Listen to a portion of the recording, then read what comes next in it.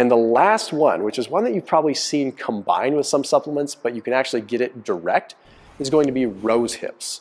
Rose hips, we are talking over 90,000 on the ORAC score. What is it about rose in general? Because raspberries are technically part of the rose family.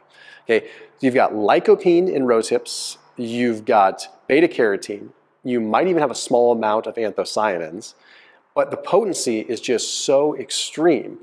Now, the effectiveness of it seems to be quite strong too, specifically with the immune system. That's why typically when you look at vitamin C, it'll say vitamin C with rose hips, because not only do rose hips have vitamin C, they seem to work synergistically because of the other vitamins and some of the even B vitamins that are in rose hips.